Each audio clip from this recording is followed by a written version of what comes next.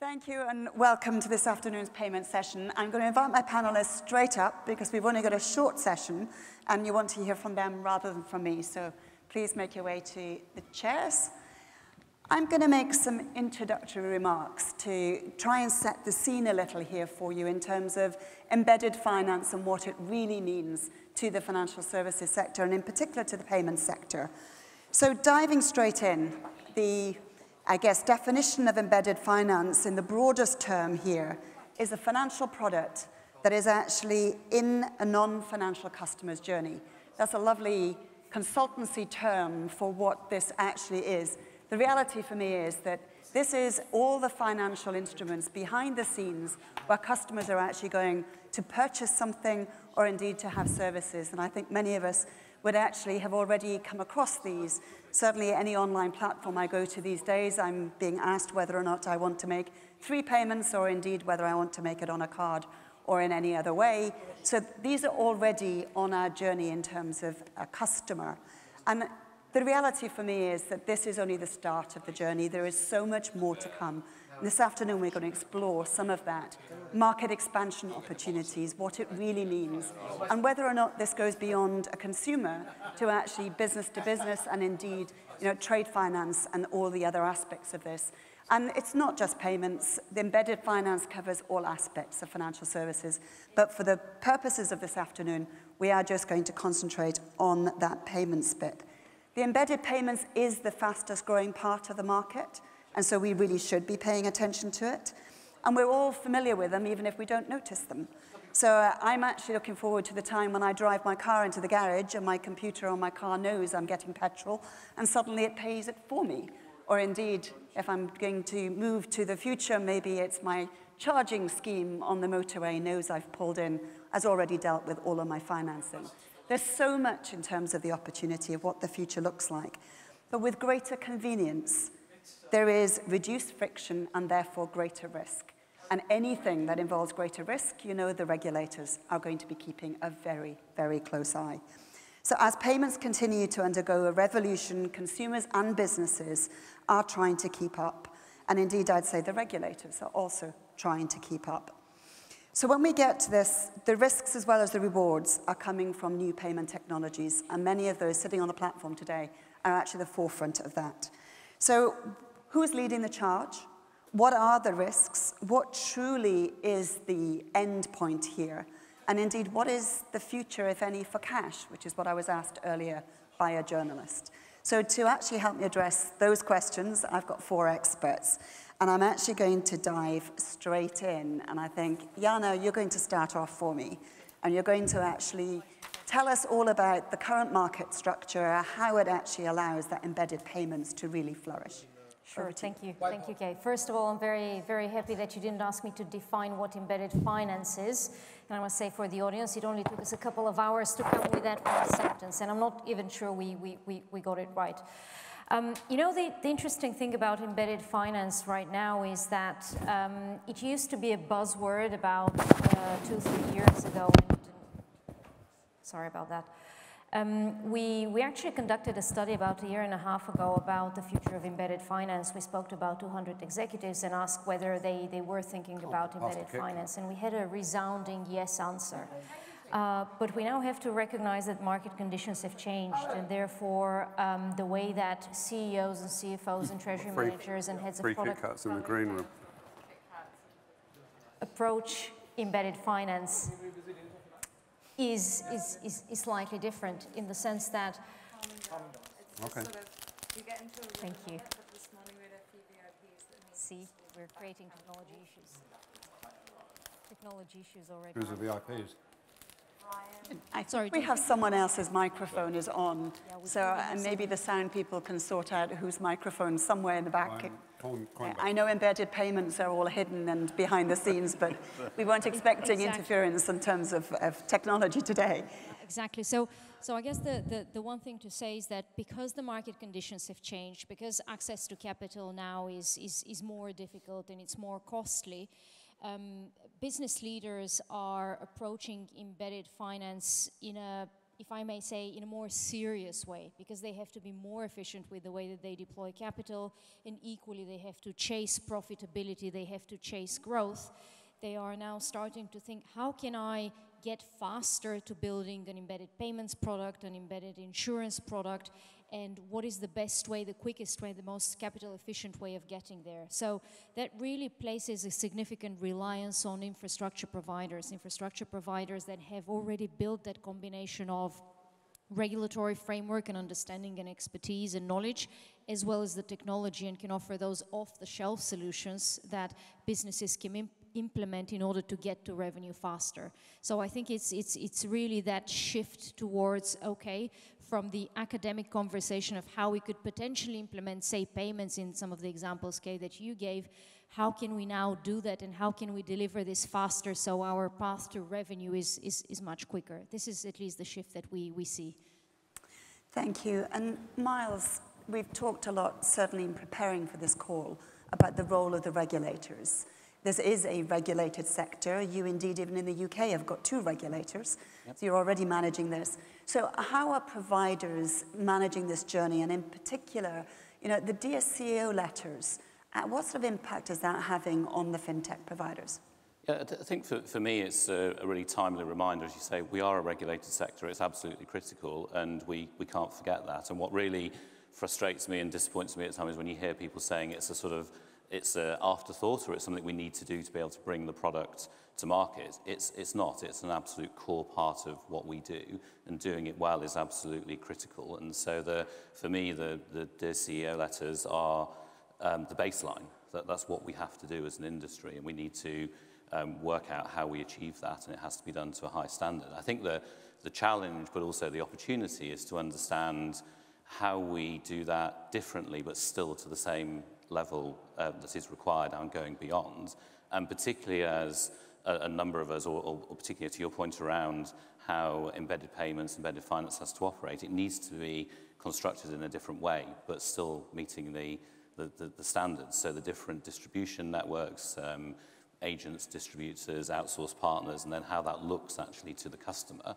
Um, create the challenge. Those are the challenges we should be solving, not the, whether we are meeting the standards. So I think the industry needs to move from making sure that we've got those ba that base level in, it is operating, to then solving the more interesting conundrum of how do you change the way you do that to make sure it fits with the user experience that we're trying to create in the embedded payments, the embedded, payment, embedded finance sector. So complicated things ahead. Yeah, complicated, but I think that's the, that's the opportunity to solve it in a really productive way from a regulatory point of view, but also a user experience point of view. Excellent. Now, Ruhi, you actually deal with all sorts of sizes of companies, large and small, and there are lots of pressures at the moment on different parts of that system. So from your perspective, you know, what are you actually seeing in the marketplace at the moment? And in particular, maybe expand on some of the cost versus growth in the current environment? Yeah, absolutely. I think what we're seeing across businesses of all sizes, big and small, is that they're all facing this dual pressure of increased cost and a softening demand. So it's almost like a double whammy where customers don't want to buy a lot and everything costs a lot more.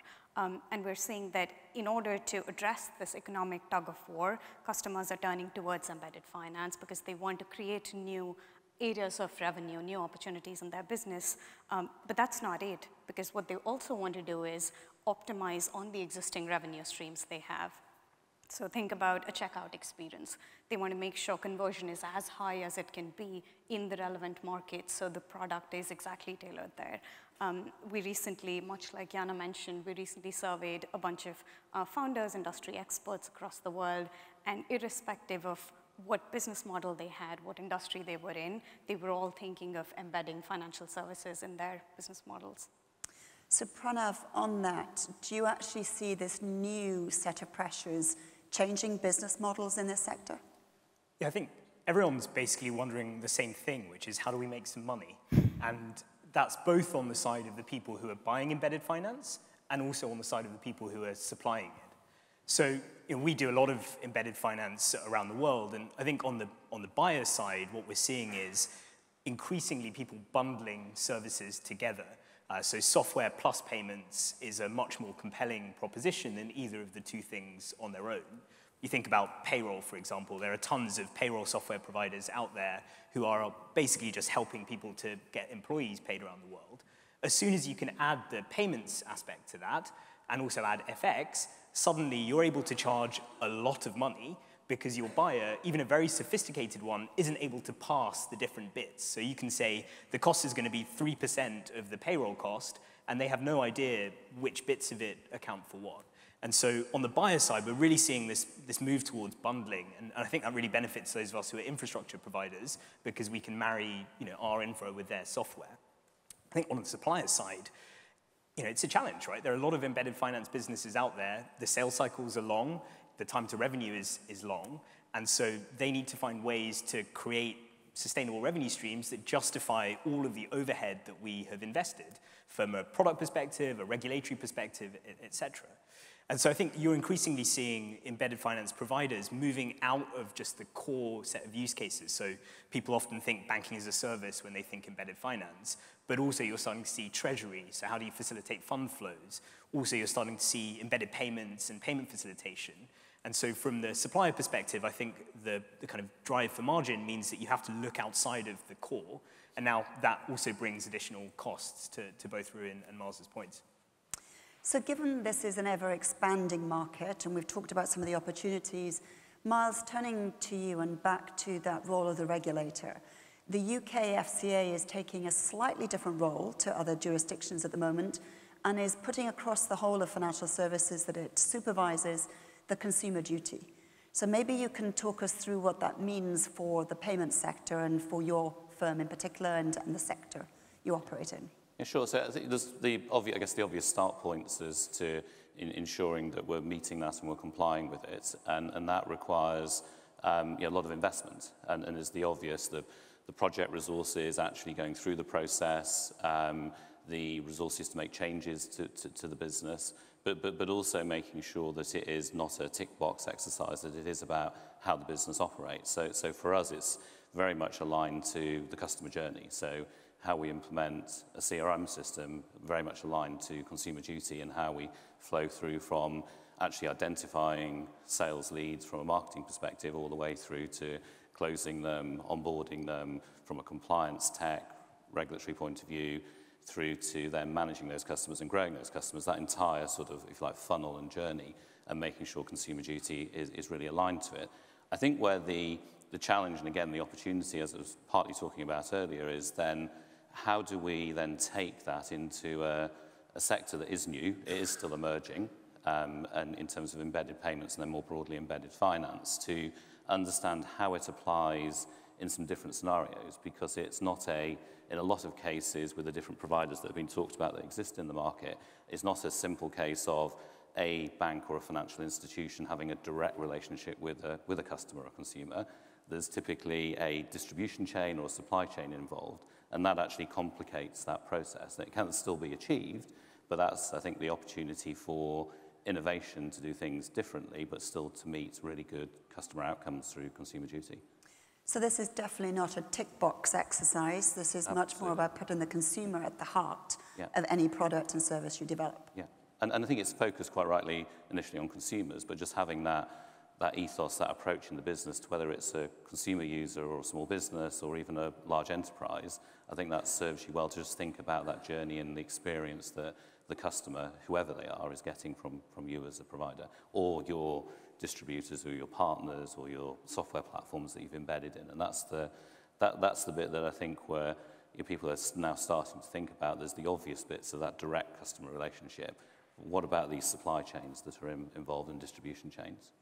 So Ruhi, I think you can pick up on that for me in terms of that value chain and the other risks you might be seeing emerging other than the regulatory risk that's here. Absolutely. Um, and I think if you think about the embedded finance value chain, you've got so many different players in the space, uh, businesses or merchants who are offering this service. You've got banks, you've got fintechs, and you've got other providers.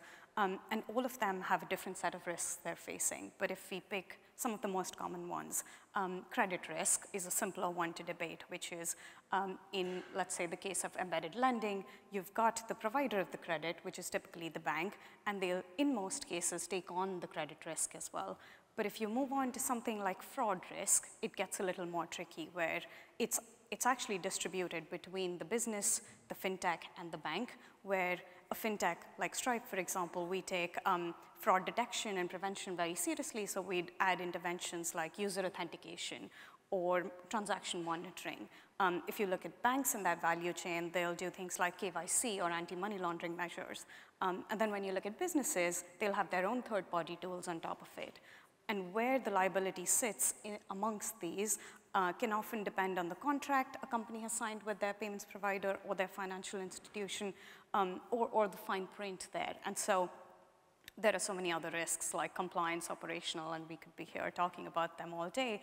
Uh, but I think it's, it's, a, it's an unsolved problem in the industry where there aren't very clear rules for some of these risks. And maybe we could take inspiration from the likes of Visa and MasterCard networks that solved this iterating over many years and have come up with frameworks and rules on how does the liability shift and where the rules sit. And interestingly, the, the two examples you've given there, it's a very concentrated market. So this is a very diffuse market, very much a, a, a very competitive place. How do you get everybody to work together to similar standards? Yeah, uh, I think standards evolve over time with industries seeing there's value in one versus the other. If you take on more credit risk or fraud risks, sometimes you can get more value out of that chain as well. Um, but then different parts of the player try to iterate and solve it, and whoever comes out and solves it first and better kind of becomes the player to lead that framework then. So I think that's what we're going to see in the future as well. So interestingly, at KPMG, I get to look at the whole of financial services, the large and the very small. So from one end of the spectrum to the other. Iana, operational risk is something that you know is either is in the top three risks at very the board topical. at the moment. So whether it's the largest global bank or indeed, you know, sort of an emerging fintech, it's at the top of someone's agenda at the board level. Can you talk us through whether or not you think that firms have got the right attitude towards that operational risk framework at the moment? What are the safeguards there? What are the things we should be looking out for? Ah, that's a very good question, whether they have the right attitude, because often people ask whether they have the right frameworks, but very seldom do I get the question whether the, the top-down approach is, is there. I think, unfortunately, not to steer conflict on the panel, Myles, but uh, I'd, I'd probably have to disagree slightly there with you when you said this is the baseline. I think we have been making assumption that compliance with those outcomes that the FCA set recently is the baseline. But in practice, I think what we find is that very often the attitude of startups and scale ups and, and, and the board's, uh, uh, I guess, uh, priority did not really feature this, or this was more of, a, of an afterthought.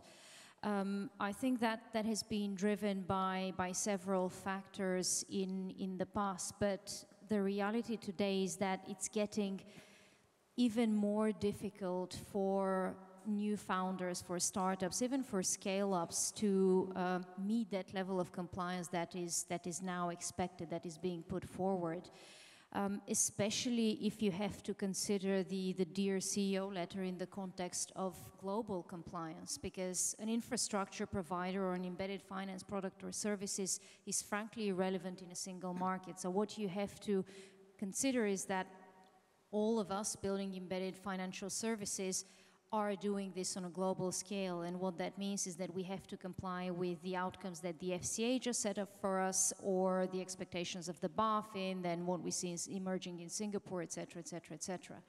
Now, the amount of expertise and investment required to get to that standard is, is significant and operating in a new world today, because I genuinely feel that we're operating in a new world in comparison to even 12 months ago, reconciling the need for that investment with the pressure on operating uh, in a capital efficient manner is incredibly difficult. So I think to answer your question, Kay, directly, the attitudes within boardrooms are frankly very mixed because every business leader recognizes that this has to be the baseline, and that is that stamp of trust that our customers require to see in order to move forward and incorporate our infrastructure in their journeys.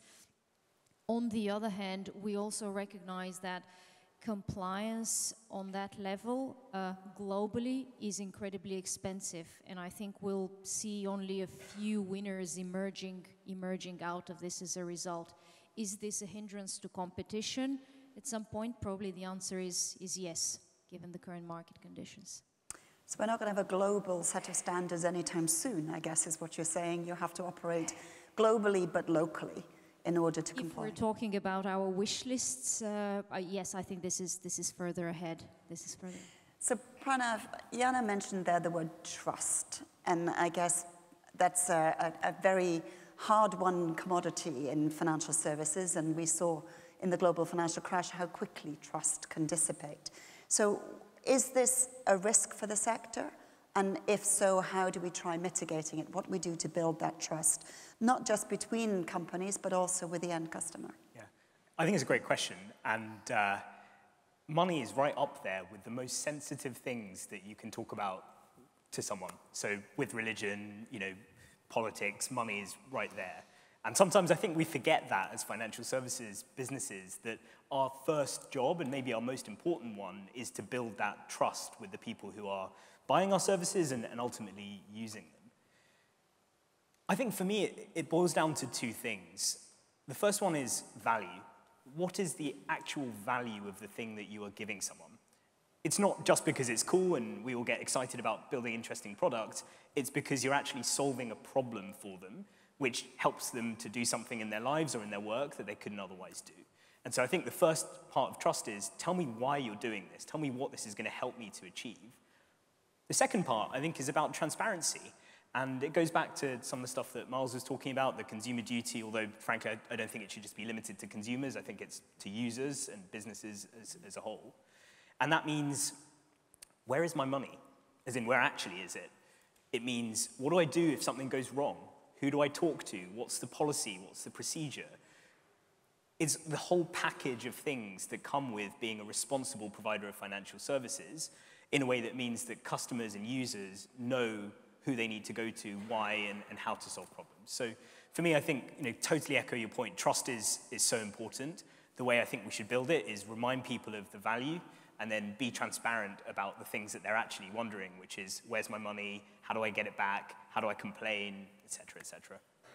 So the timer is telling me we've got less than three minutes here. So I'm going to round up with your wish list. You mentioned it before, Iana, as to what a wish list might look like. So maybe if you, given the, the scarcity of time, stick to your, your single wish that you would have, maybe starting with Iana, and we'll work down the line. Sure, very happy to do that. Um, I'd probably say more organizations like Innovate Finance, because this is the, the, the, the tool and the place that helps businesses like all of us um, channel our message and educate our customers. So the, the one thing I would say is we need to educate people more about the value add that a good infrastructure, good payments and financial services can provide to them and to their consumers so that they can grow. More knowledge, more education, and as a result of that, I guess, more of these sessions, and uh, great thanks to Innovate Finance for organizing. Uh, I just say patience. There's a big opportunity out there. You know, there's a whole bunch of interesting problems to solve. It's going to take a little bit of time to, to get there. So let's be patient and, uh, and hold firm.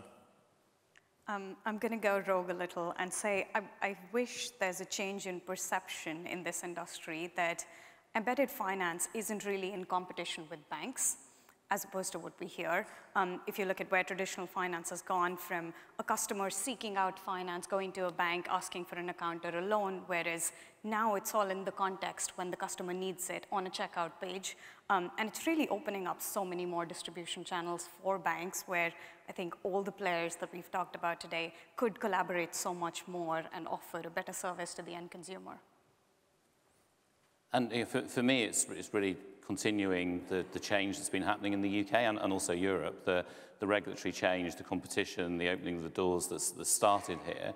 I, th I think we need to recognise that it's only started. There's lots of change that needs to continue to finish the job. And if a precursor to that is getting that baseline right across the industry, then the industry needs to do that so that we have that permission to question, challenge, to, to get further change into the market um, so that we can deliver even more innovative services. Well, all I can say is that my colleagues in my KPMG Singapore office have told me that the market estimate that they have for embedded finance at the moment in 2025 will be around $250 billion worth. So it's a huge market, lots to go after, lots of challenges, as we've just heard. So risks, challenges, but big rewards. So I'm actually really delighted. We've started to scrape the surface on this. We could go on for a very long time. But it just leaves it to me, given we're out of time and this is flashing away at me, to thank Iana, Pranav, Ruhi, and Myles for their contributions. And thank you for listening. Thank you.